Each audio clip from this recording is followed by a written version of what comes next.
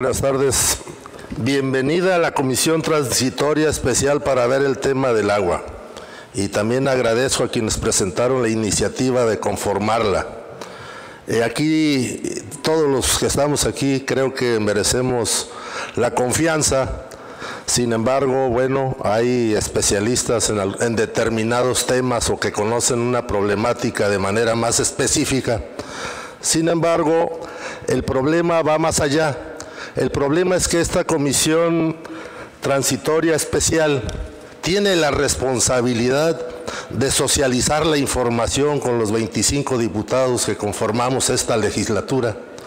Tiene la responsabilidad de hacer reuniones amplias y tiene la responsabilidad de, hacer un a detalle un informe técnico de lo que eh, la, comisión haya generado de información.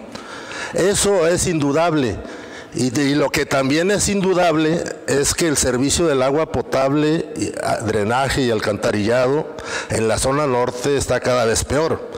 Hace días, en días pasados, yo presenté un exhorto que fue aprobado por urgente y obvia, y obvia, resolución de que compareciera el ingeniero Alberto Covarrubias a presentarnos un informe del estado que guarda el servicio, la prestación del servicio del agua potable y fui muy específico, me refería al municipio de Benito Juárez, porque ahí es donde vivo y ahí es donde conozco de manera más precisa y profunda la problemática del agua potable y es una problemática cada vez más grave, como lo han mencionado mis compañeras y compañeros, que este no es, ya, ya no es un tema que podemos se, seguir postergando, no es un tema que tenemos que esconder debajo del tapete. La misma sociedad exige ya una ruta de solución o se mejora el servicio o se ven las causales de rescisión de la concesión del servicio. Se tiene que revisar de manera ya responsable y profesional el tema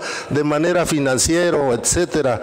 Por eso creo yo que esta comisión tiene la responsabilidad y repito y hago énfasis en socializar la información, en hacer extensivas las invitaciones a todos y cada uno de los 25 diputados de conformamos esta legislatura para que todos en sintonía hagamos también una propuesta y solución al problema del agua potable en la zona norte de Quintana Roo. Es cuanto.